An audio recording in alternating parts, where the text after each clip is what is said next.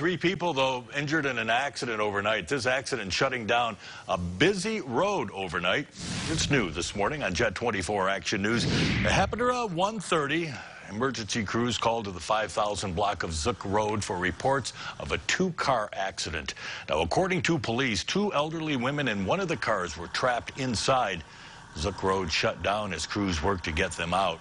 Both women were taken to the hospital with uh, what were said to be serious injuries. A third patient, a man in his 20s from the other car, also suffered serious injuries. No word on what caused the accident, but Millcreek police are investigating.